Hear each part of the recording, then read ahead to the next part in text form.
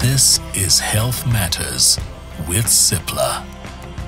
Anybody who's ever owned a computer, and I guess that's most of us these days, know that if you overload it or have too many tabs open at once, it stops working properly.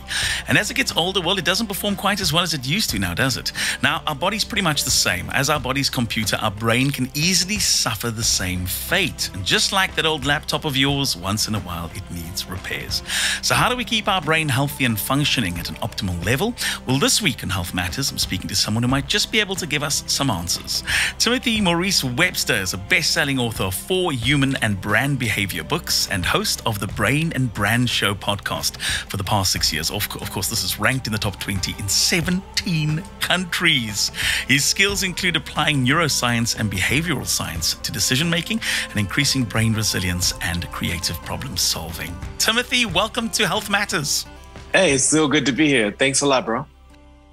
Uh, you've been talking about brain health on your podcast for a while now, and you're here to share seven simple ways that we can use to boost our brain's power uh, in order, of course, to have more resilience, creativity, and a greater capacity to bounce back. So I'm excited to have you here and to run us through these seven key things that we should absorb, we should listen to carefully, uh, and apply to our lives and our brains. Awesome. Well, number one, I'd like to start with something super simple. I don't know when the last time you've gone into your do you have a garden or nature I or do. a park near yes.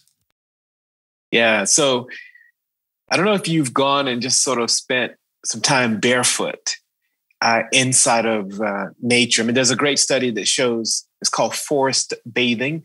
If you spend three straight days in nature, your cancer fighting T cells grow by up to 50%. Your ability to fight disease increases. Your immune system becomes supercharged by communing and making love to nature. And nature is one of our best friends when it comes to, you know, increasing our nervous system's capacity to deal with life. And so the first one is nature bathing. And I would say to anybody that find nature and mm-hmm. commune in it. A lot of people who are working hybrid, working from home, they take calls Indian style, sitting with their legs crossed in nature, because they've discovered that the anxiety regions of your brain respond differently when people are stressing you out. And when you get those crazy calls and people are stressing you out, there's no better place to deal with it than in nature. So that's number one. Number two is what I call the artifact. I had a neurologist on my show named Dr. Kirti Ranchod, and we talked about most people will tell you that they're not creative. You know, people who are creative really do own it. Um, but people who who don't see themselves as creative don't realize that life is a creative pursuit, and that when you are creating, it's very difficult to focus on anything else. So one of the exercises I do in some of my training is I get people to draw their face. And when they're finished, they're always surprised that it looks more like them than it does me. so the first thing I'll say is that if you decide to take your child's face and draw it, or a flower, or anything that you see around you, it's difficult to worry and stress about other things. And it's a meditative process and that meditation exercise. And one of the reasons why I suggest this versus telling people to go meditate is not many people can calm their mind just by going and meditating. But for those who want to start on that journey, this is a good place to start. Third thing is what I call design your second brain. And this is one of my favorites. I mean, this is a, you know, is a bit of a tip from both behavioral science and neuroscience. When you put your keys in the same place every day, what you're doing is you're creating what we call a second brain pattern in your home. Mm.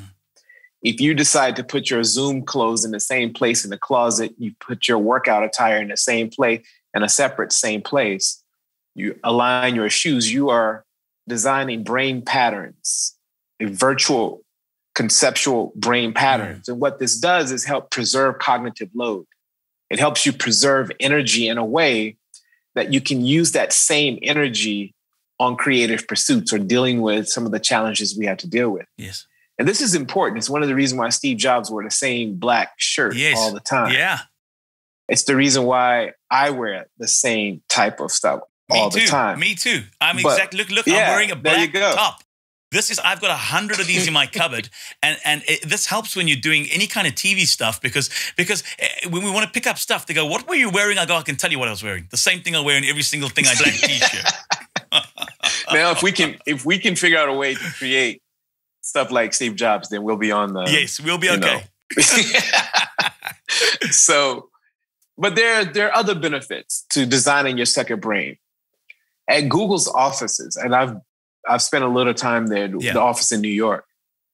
And what they do is they use design, uh, second brain design strategies to help people attract to things that that are going to be healthier. So, for example, the because the brain is primarily trying to preserve energy unless there is an emotional emotional reason not to what's what happens is, for example, if I put fizzy, nasty drinks at eye level, I'm gonna be naturally drawn to those. But if I put it up really high and I put the healthier drinks at eye level, I'm much more likely to be drawn to the thing that's easier to access because I'm still preserving energy. Now, there will be times where you will leap up to grab the nasty thing, right? But at the end of the day, if you look at on average, if you look at over time, you will find, and this is really important. One of the things I found that, like, I've taken these fiber supplements, and at first I was putting them with other, you know, health supplements in my in my cupboard, and I would overlook it. I'd remember to do it every once in a while. Then I realized, actually, I've got the second brain design technique. Let me put it in a prominent place, and I never overlook it anymore. So that's a design feature, and I think it's really important that people realize that if you don't design these things into your life, yes, you will get preoccupied with other stuff. And do not over determine your brain's ability to not get distracted. it's like it's one of the key lessons in life. Something is going to happen. Yeah. Something is going to happen to take your mind away from the very thing you want to do to make yourself better. Yes. All right. Number four is I what I call turn off your prefrontal. Have you ever had a moment where you're trying to problem solve, you're trying to figure out an answer to something, but the answer wouldn't come. But then all of a sudden, when you stop thinking about it, Spot the answer came. Bam, bam. You want it now, want it now doesn't happen when you relax. As soon as you you're, you're not as tense, trying to force it out of yourself, you stop and you you you, you kind of you know you don't need it right now. I think it'll come, and bam, it comes to you. So let me give you the neuroscience around why that happens. Okay, I love this. I love explaining people what is the technical reason why stuff happens. Yes. So, do you have a pet? Do you have yes. a pet? Yeah. So no matter how smart your pet is, what type of pet do you it's have? It's a, a, dog, a Rhodesian Ridgeback called Lexi. Yeah, and Lexi is really intelligent. I know, but no matter how intelligent Lexi is, Lexi is part of the brain, the prefrontal regions, the part of the brain that humans have that make us an evolved species. Lexi's prefrontal is not as evolved as ours. Right. And how does that play out and why does that matter? Now, Lexi, if you go and you get Lexi right now and you ask Lexi what she is a she or he? She, it's a she. She, what Lexi would like to do for December holiday. Lexi's brain is not going to go that far. no. so that's the role of the prefrontal cortex. And that part of the brain is constantly assimilating the future. Now, what happens is that part of the brain goes into a spin cycle. So when you starting to literally solve a problem or think about something, the toxicity starts to build up, the intensity of that. When you stop and you invest in a little bit of me time, you go for a walk, you take a bath, you go for a spa treatment, or you invest a little bit into yourself and slow down, you slow down the spin cycle and the answers start to evolve from these extraordinary patterns in your unconscious mind, and which is where so many of the answers already lie. So, on a very simple level, it's exactly yeah. what you said. When you slow down, anxiety uh, regions of the brain start to calm and things start to evolve. Wow. Number five is what I call do an emotional bank account audit. We have terms, unconscious terms, that will define the health of our relationship. Let's say, for example, you like cricket or rugby. I yes. like basketball. I like American football. If I try to force you to watch American football, you try to force me to watch rugby, these are going to be emotional withdrawals. And the concept of an emotional bank account is very subtle but extraordinarily powerful. If I don't listen and pay attention to your higher values and the hierarchy of your values and really understand what matters to you, it becomes difficult for me to make intentional deposits into your life. And so the strength of our relationship is going to be me being smart enough to go, for your birthday, instead of me buying you a pink shirt, I probably should consider buying a black one. Because on deposit, if I buy you a pink shirt, that's going to be an emotional withdrawal. Now, you may not internalize it consciously, but over time, yes, you will feel like an emptiness. And when I go to the ATM of Ryan's heart to try to make a withdrawal because I need a favor, it may come back insufficient funds because I've been making a lot of withdrawals maybe not even uh, realizing it. Yeah. And this is important because if you want to increase and keep your brain healthy and strong, then being able to do an audit on where the accounts in your life stand is very important. Mm. And whether it's Lexi, your dog, whether it is your partner, your colleagues at work, paying attention and actually giving a damn about their lives and what matters to them, whether they're going to go away for a week on a religious retreat, whether they meditate and do yoga, if you pay attention to that and you, for example, share a link to a podcast about yoga to someone who loves yoga, that's an extraordinary deposit. I'll tell you a quick story, Ryan. When I, in level five, things were really tough for me because I live alone. All my family's back in the States. And I live on the 15th floor and I would just look out. And normally before lockdown, I can see the highway, it's buzzing, the streets is buzzing. And all of a sudden, because everything came to a halt, the highways were empty. And looking at the M1 being dead empty and looking at the cold streets of Johannesburg being frozen like a piece of gray art was very difficult for me because I'm very conceptual. And I part of the reason why I stay on the 15th floor is I'm trying to, I'm trying to, I'm trying to reenact my New York lifestyle. so I'm looking out, hoping I'm in New York sometime. But the point is that it was tough for me. And I found myself literally like really struggling. And I had clients withdrawing, pulling out left and right. No, work for yourself and you're in this creative world, you need contact. Yes. So I called one of my mentors and I, I called one of my mentors and I asked for a phone number. And I didn't check on him. This mentor is a billionaire who makes an extraordinary impact in my life by getting me to think about leadership differently, think about values and the journey of values based leadership. He gave me the number, but he stopped taking my calls for about six months. Sure. And it's because I made an emotional withdrawal by not checking on him. Wow. And I started to send him books. I started to, I wrote a handwritten note and I took a photo of it and sent it to him to check on him. And after six months, he called me back. He never said to me, what was happening, but I knew because I understand this idea of the emotional bank account. And so I would suggest to anyone listening to pay attention to where your accounts stand with people, people that matter, the people you collaborate with, the people you partner with, and ask yourself very bluntly Am I requesting too many deposits and not making enough of them? Wow. Wow. That's number five. Wow. Number six, is hydration. How much water have you drank today? I've done Ryan? A, I've done a 10 kilometer run this morning. I've drunk, uh, had a good. And here's the amazing thing is I can feel when my body needs, and it's a weird thing because a lot of people don't feel when they need their, to have water, when they need to hydrate. I can feel my body, almost the, all the cells going, hydrate me, hydrate me. Yes, yeah. Let, let's talk. Let's talk a little bit about why what one of the benefits are beyond the feeling. Sure. So when you and I are trying to problem solve or trying to deal with some level of some challenge or trying to map our way through this complex life, what we're doing is trying to make sense of patterns. And when I start to think about your content, your podcast, I start to think about people in my network or potential sponsors, and I'm trying to solve. What I'm doing is I'm putting patterns together.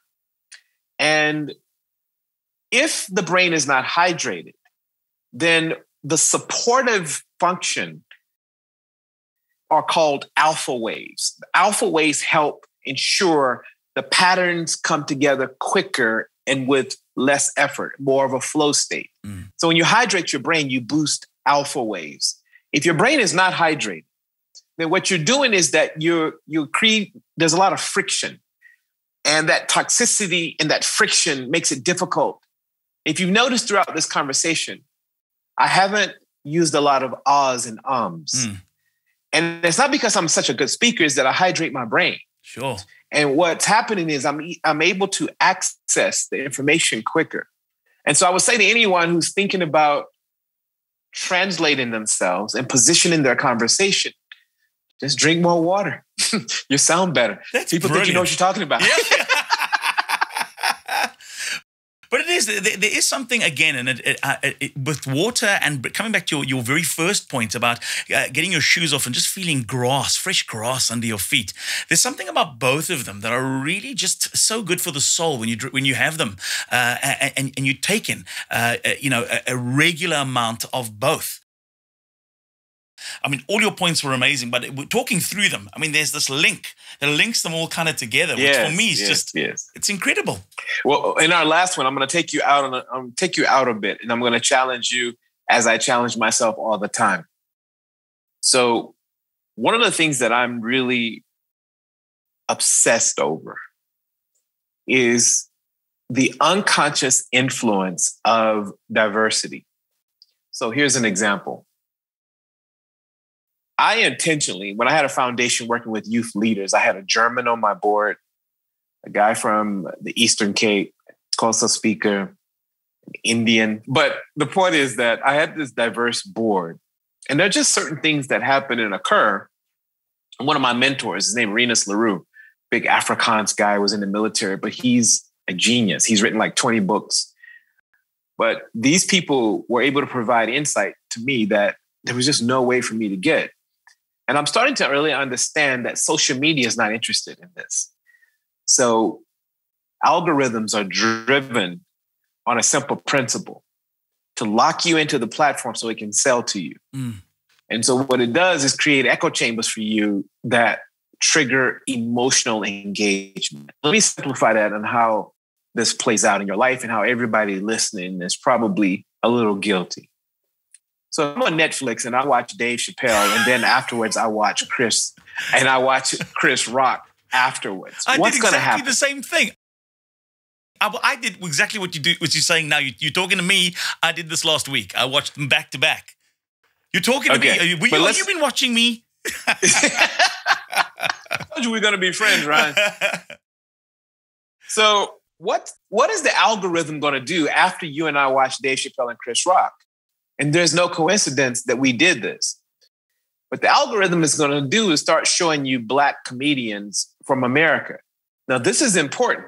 If I like Bill Burr, who happens to be a white comedian, then the algorithm is going to assume if I don't click on Bill Burr, it's going to start pouring me Black comedians from America. So if I want to keep, if I want to hack, I want to see and experience diverse comedians, I have to hack the system. So what I often do is I will choose in Google and search random comedians from different parts of the world, Indian, um, black, white, all types of people, and then I'll slide the viewer bar over just so it just starts to show me different people. Yes. I do the same thing on LinkedIn. LinkedIn, for example, if I speak at a conference and it happens to be mostly black, LinkedIn and a few black people start to add me, or a few white people start to add me from a conference where there's white people, what happens is it'll only start showing me those people. And so every so often, for example, recently I spoke at an Indian conference and it only started showing me Indian people. So I started just clicking on random white people so I could hack the system. and this is very important. Go. So I want to, as I close my seven tips, and I hope you guys found some value in this, I want you to go and look at the people you follow and ask yourself how much has the algorithm chosen these people for me? Mm. And how much are these people narrowing and putting me in an echo chamber that's isolating me from parts of the world? Mm. I do this with media. I watch Fox News and CNN. Yes. I look at and I download podcasts with differing views. Now, I have to warn you, this is going to take a bit of mental energy because it's going to challenge you. No one wants to be challenged. But if you want to succeed at a high level and you want your brain to be pumping at a level where you're going to be able to innovate and do amazing things, you've got to incorporate these hacking tips. And what I see over and over again, right now, I'm working with a bank in the Middle East in Kuwait called Boubyan. At the same time, I did a presentation recently at Capitec. Now, how can I balance my mm. engagement with a Middle Eastern bank and a South African bank while also collaborating with my US people? Is because I've created systems that open me up. And if you get stuck in an echo chamber, it is numbingly simple and pathetic. Absolutely. So challenge yourself. Amen, brother. Have fun with these tips, guys. I, you know, and that last tip, just to add on to that, you know, we, we find ourselves doing our living our lives in these echo chambers. To your point, we we we socialize in these echo chambers. We go to uh, along to functions. We travel the world. Uh, what do we do? We go we go to Morocco. We find a beautiful beach in Essaouira. We go and, and we join another group of South Africans in their hotel bar drinking. Instead of going to go and see what the locals do, we we end up doing you know the the, the, the, the total opposite to what we really wanted to do. So to your point, I, I find myself when when there's social gatherings on uh, Timothy, and there's people congregating. I'd like to go and find interesting people in the room that I, I wouldn't normally go and talk to. I would normally go and find my own tribe, as it were, and go and stand yes. with my tribe of like minded people, having the same conversations that I know uh, it's going to start and end exactly the same way as it does every single time this tribe gets together. And instead of going to do that thing with my tribe, I go, okay, listen, what am I going to take away from this encounter of people together? Let me go to the other side of the room. Let me go and talk to somebody I would never normally talk to who, who, who may be a, a, totally different intellect, who may be a totally uh, have a total different vocation. Um, and I find it to be the most fascinating, challenging, uh, world-opening experience uh, because it opens up a, a world uh, to me that wouldn't normally exist and that I normally wouldn't have, have even ventured into. Um, but I forced myself away from what I would consider to be the norm uh, and to, to, to, to, create a different space uh, for me to be able to learn and grow. Can I just share with you quickly why it's hard to do what you did and why it's very difficult and why most people don't? Is that I write a lot about what I call the sameness effect and the the beauty of sameness. Mm. Because to be honest with you, I'm tired of people preaching about diversity and inclusion without giving us the science of why it's so difficult. When I hear someone speak the same language, if I speak Afrikaans and I hear somebody else speaking Afrikaans, a huge chunk of my brain region starts to relax. I feel safe. Symbolically, I think I understand their values. And if we go through our evolutionary background and a lion was coming up to our camp in the bush, if I have to translate from Afrikaans to another language, I'm likely to get eaten alive. And so when you're around people with the same language, with the same symbolism, if I see someone wearing a burqa or a kippah, a Jewish person, and I see that, there is an unconscious magnetic attraction to it. And this is very important mm. because diversity on the surface makes you vulnerable. It, it uh, exposes you to extraordinary risk. And so you got to keep that in mind mm. that you need sameness and you need people. If I find a group of Americans playing basketball there's something very cathartic about that for me. Mm. And if I have to go and force myself to play rugby or cricket with some some guys yes. from uh, Stellenbosch, that's going to be tough. so I'm not saying go and force yourself into it, but I'm saying yes. design it subtly, yes. like you said. Yeah. Design it subtly in a way where you can catapult yourself in subtle ways. Yes. And so when I speak to my friend Rinus, who's an Afrikaans guy, or speak to somebody who's German or Indian or whatever, I can't make that the majority of my life. Yeah. But I can weave it in yes. so it can complement me and help yes. boost my brain in ways that are delightful. You have been speaking a delightful, a delight to chat to on this podcast. I can see why um, you are um, as as sought after in in your field as you are. Uh, refreshing to chat to. Timothy, thanks for your time today. Thanks, Ryan. You're amazing. I appreciate it. Everybody, thanks for listening to us. This is Health Matters. I'm Ryan O'Connor in partnership with Cipla. If you're listening on Apple Podcasts, please remember to rate and review the show. And of course, we'll be back next week with a brand new episode. Health Matters in association with Cipla. Check your favorite podcast app for the latest episode.